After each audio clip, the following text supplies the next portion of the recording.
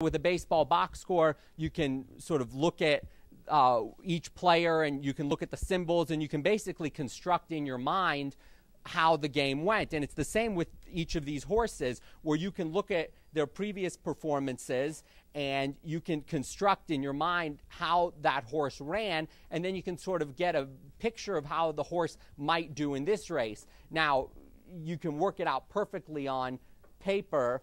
Um, but then, as far as how the horse runs, sometimes you know it, will all come down to luck. But we do the best we can to sort of predict how it'll all go. Bruce, can I embarrass you? Everybody, this is uh, Bruce Seymour, who's the general manager of the racetrack, and any complaints that you have about me should be directed to Bruce.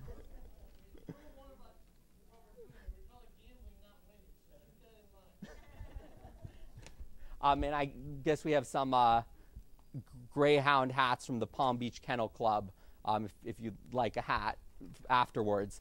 Um, but if I could have uh, my mom and, and Lindsay come up, um, I'm going to show you all something that I made, and it's a little bit crude, but it's sort of a blow up of the program, and just to sort of run through it real quick, and then I'll turn it over to my dad. And so this is sort of the part about how to pick the horses, and then my dad will tell you about how then when the betting happens, how the money's then divided out. Um, so, so the first thing that we'll do before we get to this is say if we look at the eighth race and we look at horse number one, you have all the horses listed out. And I always like to say that, you know, every winner can be found in the program. And, and so one of these horses has to win. So now we're going to try and find which horse is going to win. So you have nine horses in this eighth race. And the very top of the page gives you the conditions of the race. So you know that the race is one mile. And you see that it's going to be a full lap of the track. This is a thoroughbred claiming race, and so there are different levels of racing. And what the claiming means is that the horses can be bought here for the $10,000 price, which is next to the claiming label. The other races that you'll see today, you'll see some races that have names to them. Those are stakes races, the important races like the Kentucky Derby and the Belmont, and they're sort of uh, graded and offer the most amount of prize money. Then below that, you'll have allowance races, which are sort of condition races, races for horses who haven't won um, two races in a year, horses who haven't won uh, in in a, in a stakes race, and so those are condition races. Then you have claiming races, which are below that, where each of the horses are for sale, and then you also have maiden races, which are for horses who have never won a race before. And then there's some sort of combinations like a starter allowance and optional claiming. Um, but, but you know that for the eighth race, you have a $10,000 claiming race, and it offers a purse of $9,000, and it's for fillies and mares, so female horses three year olds and up. So now we know what race we have, and now we got to find one of these fillies and mares who can win at a mile and who can win at this class level of $10,000 claiming. So for each of the nine horses, you'll have at the very top of them the name of the horse and some basic information. So you have Quietly Roar, and that's going to be horse number one. And you see up there the names, the owner, the trainer, the silks, the uniform that the jockey's going to wear, so you can try and pick the horse out during the race. You have the name of the jockey. Uh, Michael Philip Imarino is aboard Quietly Roar. And underneath the name of the jockey, you can see how the jockey has performed this season. There are four numbers. The first number is the total number of starts, then the number of wins, the number of second place finishes, and the number of third place finishes, and then the percentage is the percentage that he has finished in the money. And if you look at the back of the program, there's a standings you can check out later for who some of the best jockeys are. And then also at this very top part is the overall performance of the horse, how he's done in his lifetime, how he's done this year, how he's done at Arapahoe Park. And this is just sort of the synopsis of the lifetime history of the horse. Um, and then underneath that, you see a bunch of lines, and each of them have dates on the very left. And those are the horse's previous races, and they're in reverse chronological order. And that's what I, what I wanted to run through um, really quickly just to sort of show you what it all means. And we'll basically just go from left to right. So hopefully everybody can uh, see this, um, and you can also follow along in the program. But you start out with the date that the horse last ran, and I took this from a, a race last week, the uh, the Front Range Stakes with Streak and Mohican.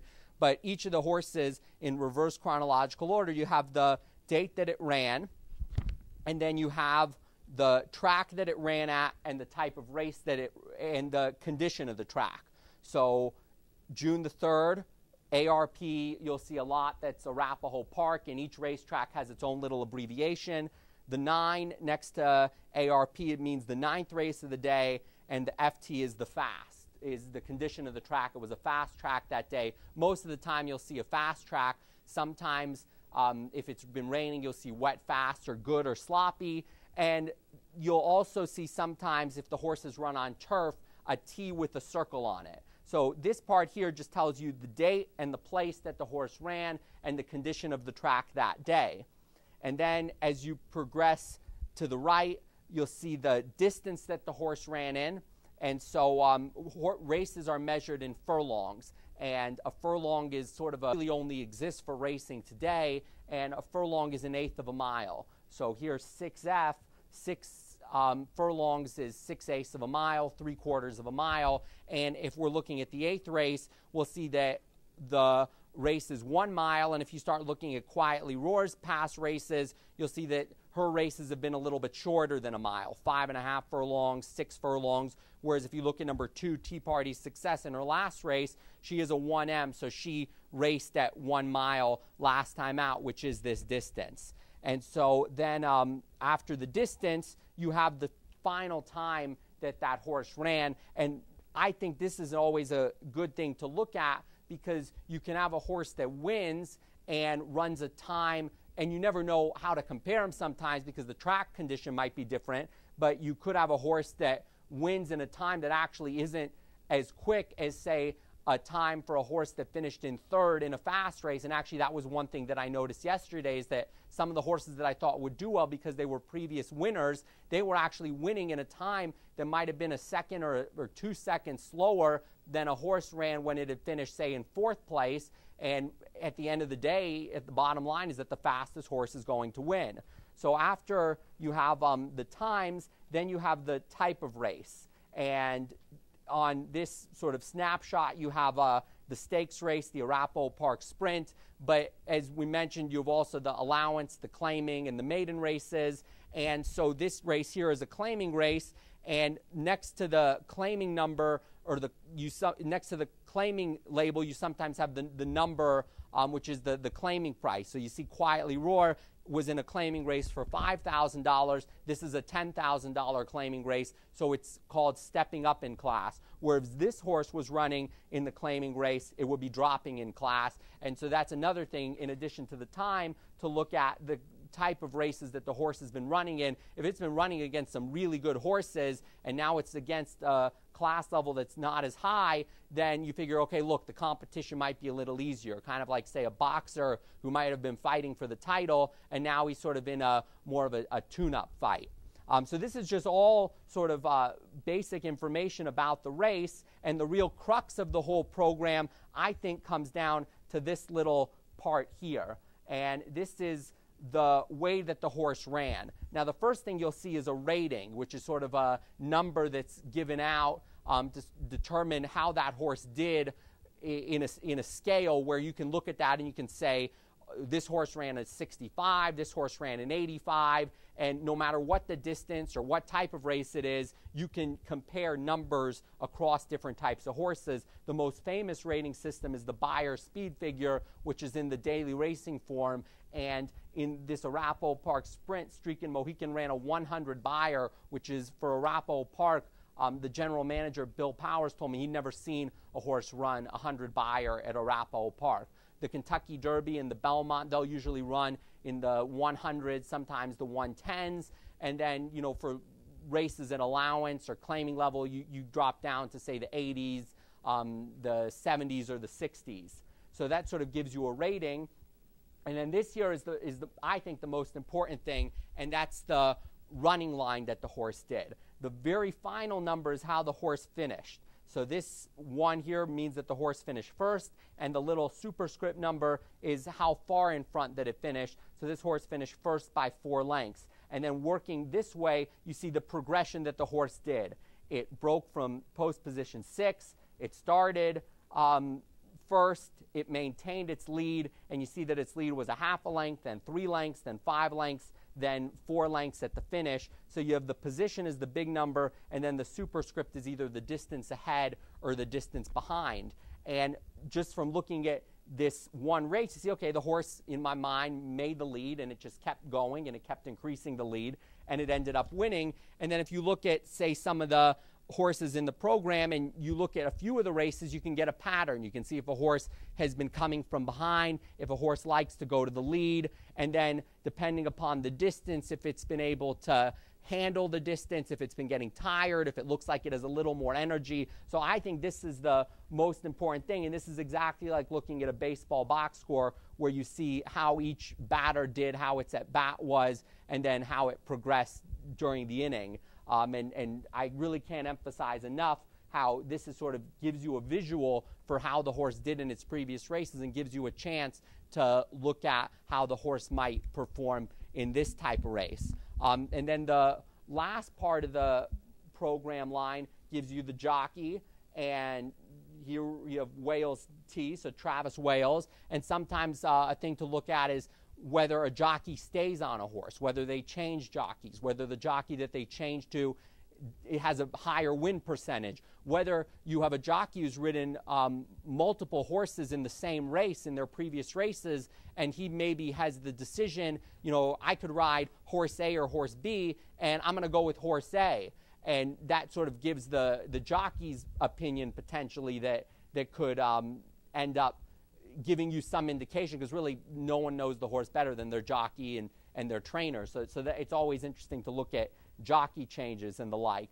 Um, and then the final thing is you see the weight that the jockey carried, any equipment that the horse had as far as medication or blinkers, um, and then the odds here tell you how popular the horse was on that day, and a little star will tell you that that horse was the favorite my mom asks uh, what some of the symbols stand for, and just to run through them real quick.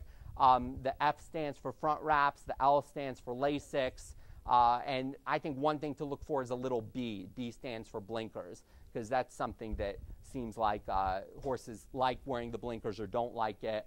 And then finally, you have the order that the horse is finished in the first, second, and third. And one thing to look at when you see how the top three finishers were is if any of them are in italics, that means that that horse won their next race. So if you have a horse who finished in third and the second place finisher then went on to win his next race, it shows that that was somewhat of a formful race. And then at the very end, you get a comment, um, say bumped at the start or uh, was passed at the finish, or it just gives you a little uh, sort of words to put with the numbers. And then at the very end, is the total number of horses in that race. So that was a very quick rundown on the program. Um, but as you can see, it's very complicated, um, but it's also very neat once you figure it out because you have a chance to determine how you think the horse might do in your head and give you some sort of background on what could end up happening. And just to emphasize one more time, I think the most important thing is the running line because you can sort of picture the tendencies of the horse and how the horse performed. Um, I want to make sure that my dad's able to get through the mathematics behind it, and then if you have any questions at the end, um, you know, I'm certainly happy to answer them, and also I'll make sure to pass out some uh, cards with my email address that, that I'm always happy to, to answer any questions that you have with that. So um, I'm going to now turn it over to the feature speaker.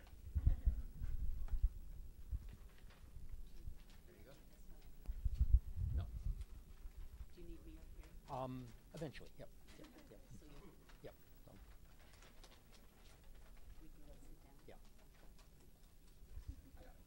Um, first of all, I want to invite um, anybody who can't see well. There's there's three, four chairs over here that are wide open. The same price, uh, um, and um, you know, feel free to sit on the floor, sit on the table here. There's plenty of. There's an empty. There's a nice big one over here. And grab a donut as you walk. Grab a donut. Yeah. There was a donut at Centennial. A horse name, there was a horse named Donut something. at Centennial. there you go. Right over here. Um, there's a bunch. Of, and um, also, my name is David Horowitz, and um, I'm Jonathan's father. And I want to um, just start out by thanking all of you for welcoming Jonathan to the track, the horse race. I've been to a whole slew of tracks with Jonathan over the years, and the racetrack can be a very foreboding place. Um, a lot of people, a lot of money, horses, everything. And Jonathan always tells me um, how much he enjoys working here, how, many, how much he enjoys the fans and, and the horses and, and the management. And I want to thank each of you for welcoming him. Um, I want to talk a little bit, and it'll be very little here, on parimutuel wagering. When you see those odds come up, how did it get to those odds? Because those odds are constantly changing, and it's, it's somewhat of a mystery how those numbers show up on the tote board or on the screen, you know, where those things come from. You want to come, come on right in. There's place, plenty of place here. And so I used to teach mathematics, um, and I did teach a course on mathematics and gambling. Here's right over here. Here's on the table. Is okay? Not a problem. And um, I find it fascinating to see uh, how these parimutuel, parimutuel odds do come up. And so uh, what I've done is I've prepared for you a, uh, a two and a half hour lecture on parimutuel wagering. Um, but um, we only have a couple of minutes here, so I'm going to try to blast through it here and uh, give you an idea of what's going on. Since I do not have a uh, overhead or a chalkboard or something, I did prepare some sort of display things, which I'll ask various people to come up and hold up here so that we can actually build an equation so that you can see how the parimutuel wagering takes shape. Do you want to come in? Um, are there programs, John? Anyway, so what I'm going to do is actually I'm going to start with Jonathan. And I've taken just some arbitrary figures for making bets, but you can easily extrapolate and see how uh, this would work in general. But I've just taken a couple of figures and a couple of uh, horses and see how things go. I think the one thing to remember is that the odds at the end of the day, when the odds that you get paid out, are based on two things, and only two things. One is how much money has been bet on that particular pool and secondly, is how much money has been bet on the winner. And everything else does not count. Those are the only things that determine your final payout. Now, obviously, you've got to pick the winner, but, uh, but the only two things are the total amount of money bet and the, uh, the amount bet on your winning horse. And the other thing to remember is that when you look at the odds, those the odds you're seeing are the win odds, the odds for the, the winning horse. Those are completely independent of all the other pools. So there's a place pool, and the place odds are completely different. And the show odds are completely different, and the exacta odds are completely different, and the Quinella is completely different. Each pool has its own odds. You are only seeing the win odds when you look at the tote. But, um, but each pool has its own odds, and I'm going to look at a win pool right now. I'm not sure I'm going to have a time to do the place pool, but anyway, we'll start out. So I'm going to have Jonathan stand right over here. We're going to begin the equation. And I've hypothesized that there were 500 tickets bet to win on the race. I mean, obviously there's more, but I just took 500. And each ticket was $2. Now you can bet $3, $10, but I just, just to make life easy. So there's a total of 1,000. So you want to hold both of these up. So that's our first, um, that, that's what was bet to win on the race. Okay, I mean, this is just, uh, and now we're going to get the winning horse. And I think I'm going to have Lindsay come up here and do the winning horse. Um, for those who've not met Lindsay, this is Jonathan's girlfriend. And um, I'm going to have you stand sort of over here. And what I've hypothesized is that there were 44 people who bet on the winning horse. And th- these are just numbers I made up. I just want to try to get numbers that, you know, show you a little something so I could, so, you know, so, I mean, obviously 500 people didn't bet on the winning horse. You know, that would be amazing. But and so they would have bet a total of $88. Okay, so those are the two numbers that really count the, the $1,000 bet to win on all the horses and Lindsay's $88 winning horse. So you hold, you hold on to that, and you hold on to that, and we'll move on. So how does the track now go about paying you out? How do they pay Lindsay when, um, when she wins the race? Well, first of all, the track takes a certain percentage for its operating expenses. The track is not in business to, uh, for charity. It, it needs to run the show here. It needs to, you know, water the, the plants and, uh, and buy the donuts and, and all this other thing. And so various tracks take out various amounts, and I just did a conservative 10%. So all of a sudden now your win pool goes down to $900. Okay, and just a, a guess that I'm making. I don't know what Arapahoe takes, but um, but I did um, I did $900. Okay, so they, the track has $900 to pay out to Lindsay's winners. Is everybody with me so far? You, got, you sure? Okay. Okay. So, first of all, everybody who bets a winning ticket has got to get at least their money back. So, here's the subtraction thing. You, you stand over there. No, over there. And we'll move Lindsay next to you. And that is the amount of money available to the winners. And so here's the equality sign. And for those in the audience who did the arithmetic, the answer to this uh, is um, $812. Is that right? Did you get 812? okay, so I need, uh, I guess I need, I need Miriam now to, um, to hold up the, uh, okay, so this is now winning money. Everybody's got paid back their original ticket bet. I mean, those of you who bet $5 on the winner, you got your $5 back. And now you stand next to Lindsay. Okay, so everybody got this. So we're creating an equation. So now what we need to do is we have to pay out each of your winning tickets, each of your $2 winning tickets. Okay. So, Daniel, you want to do the next? Uh, huh? Okay. Okay, Nathan's going to do the next. This is Jonathan's friend Nathan. Okay. So what we're going to do, here's a division sign. And we're going to divide that 812 by $88. As a matter of fact, have Miriam hold the division sign. And, uh,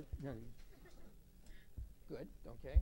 And have you done the division yet in your head, or you haven't done uh, 8, 812 divided by 88? So I've done it for you. Here's the equal sign. Daniel, you want to come up here now? or? And so what you get is $9.22 for every dollar that was bet. Okay? So every dollar, every, I'm sorry, every winning dollar is worth now $9.22. Okay? Now, at this point, something interesting comes into play. This is what's called breakage. The track doesn't want to deal in pennies. As a matter of fact, doesn't even want to deal in nickels. It only wants to deal in dimes. When you go up to the window, you get dimes back, right? You never get pennies pennies back.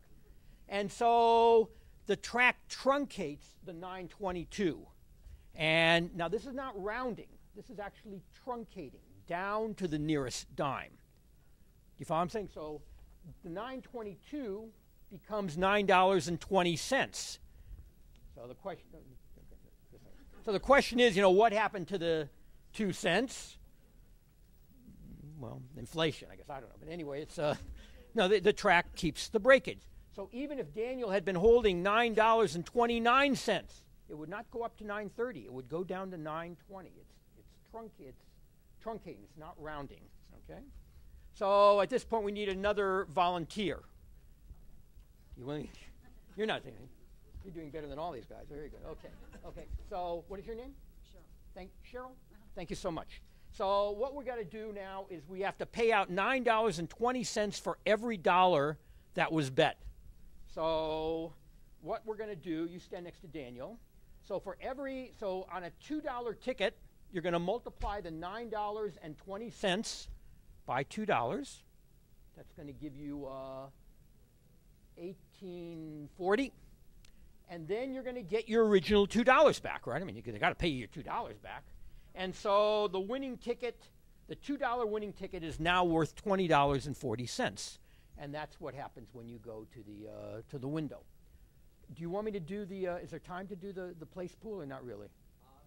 You want me to run through the place pool? Okay, so you guys can't go away. Okay. So let me see.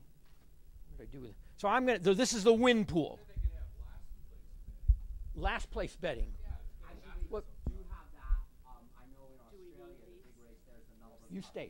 No, I mean, we need. Yeah. They have a yeah. on the Nobody can move. Can we? Can you collect? No, no, no. th- Those are those are there. No, you got it. Okay. I'm sorry. I, I didn't mean to interrupt. No, I, didn't think there was last place waiting. If you're interested in last place wagering, you can read Jonathan's tip sheet and.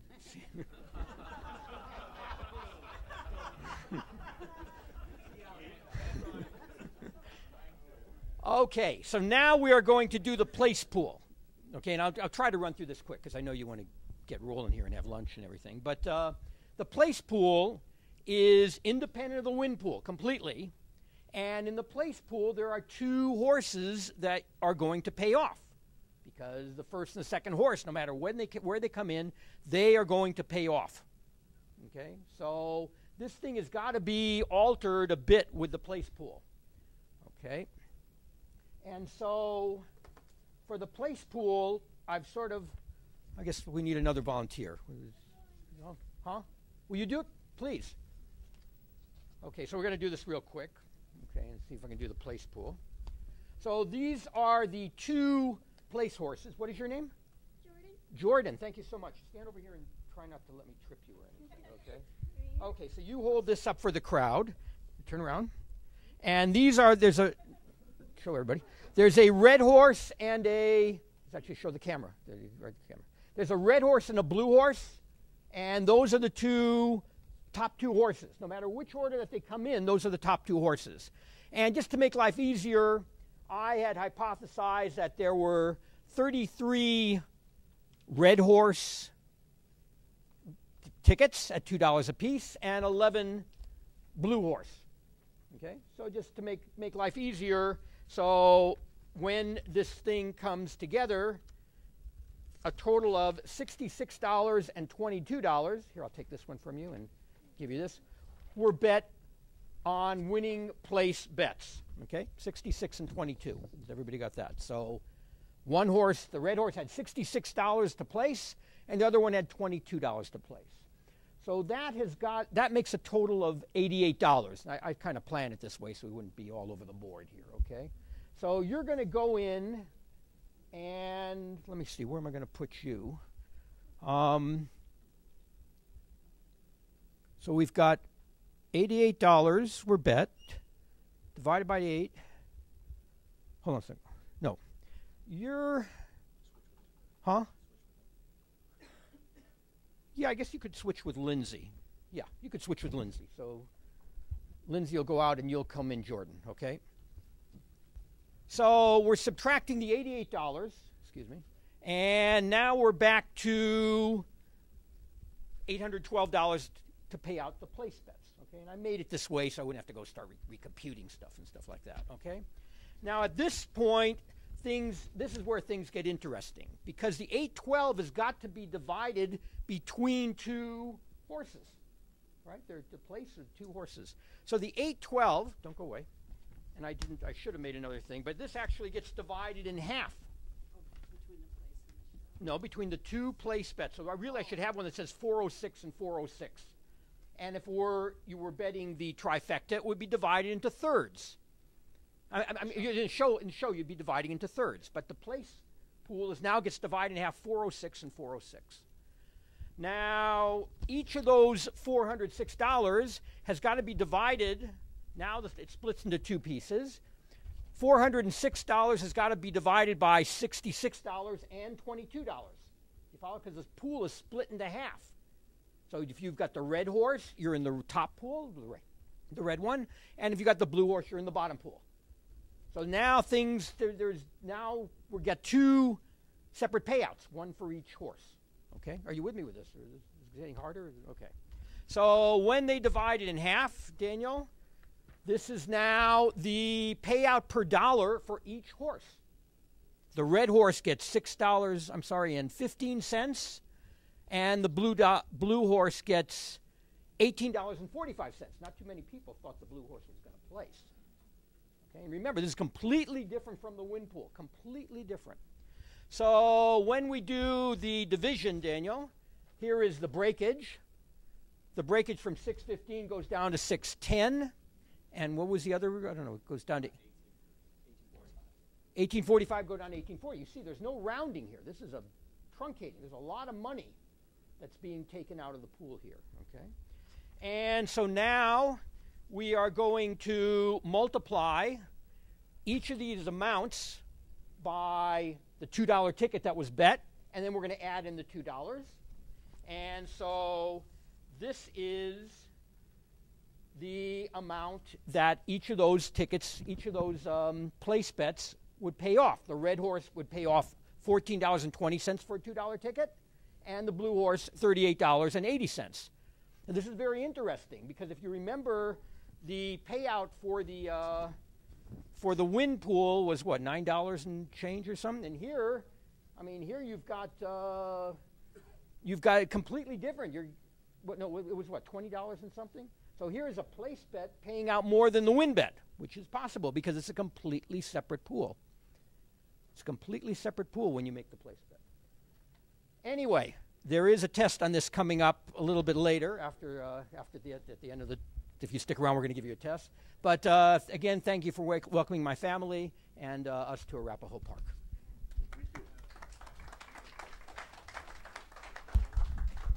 Thank you. Um, if you have any questions, I'm happy to answer them. I'll tell you one last interesting thing that sometimes comes up is the track is required to pay back a minimum amount. Say you have a horse that's so popular that it gets nearly all the money bet on it to win or to place or to show. And when you do the computation that my dad just did, you actually maybe get $2.05. And so, you know, you cut it down and now you're at $2. And so all of a sudden you made a $2 bet and you're going to get $2 back. Well, that would not be a very smart bet because you're, all you're doing is betting to get your money back. The track is actually required to pay back a certain percentage. Um, at a lot of tracks where they go down to uh, using nickels, they'll pay back at 5%, so you'll get $2.10. At Arapahoe Park, where they only use dimes, you'll get $2.20. So Arapahoe Park has to pay a minimum of 10%. So sometimes you can have where the track would be at a liability if a horse won, because when you did the computation, the winning um, people should actually get their money back or even get a negative pool. And so in the end, the track will have to kick in a little bit to make back the minimum. And there's a term for people who make huge bets on popular horses just to get that minimum 10% or the minimum 5% back and you'll sometimes see at the very last minute someone might put in you know a $10000 bet or a $100000 bet and those people are called bridge jumpers because if the horse wins they get a very quick 10% or 5% return on their money in a matter of maybe two or three minutes. If the horse loses then that's where you get the term bridge jumpers. Um, are there any questions that i can answer? Because uh, I know this was a lot of information to give out in a short amount of time because it's something that when my father taught his probability and statistics course, it went out over a, a whole semester. Um, so this was a, a really condensed uh, amount of time, and, and, and I hope that you took something away from it.